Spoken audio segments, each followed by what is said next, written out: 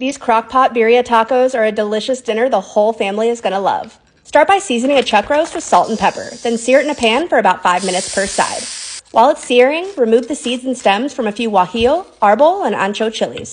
Smash four to five cloves of garlic and slice up a red onion. Add your chuck roast to your crock pot along with the peppers and onion, then add a few bay leaves and a cinnamon stick. Add a quarter cup of apple cider vinegar, a can of Rotel, and about 24 ounces of bone broth. Then just season it up. Now cover your crock pot and let it cook on low for about eight hours. Remove your beef and shred it up, then pull out the bay leaves and cinnamon and blend the liquid to create your consomme. For the tacos, just dip a corn tortilla in the consomme, add the shredded beef, Oaxaca cheese, and cilantro, and cook them up until they're nice and crispy. Serve them alongside more of that consomme for dipping, and it's ready to enjoy.